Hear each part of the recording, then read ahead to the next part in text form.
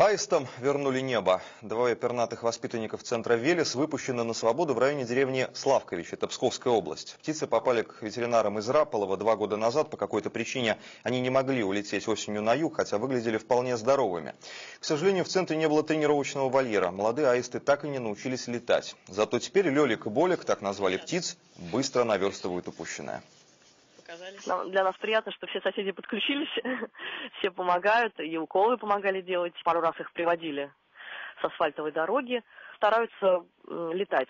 Особенно первый, который вылетел из сада, он очень уже хорошо летает. Второй немножко похуже, он только несколько дней назад первый раз полетел. Они потихонечку осваиваются, уже наша помощь все меньше и меньше нужна им.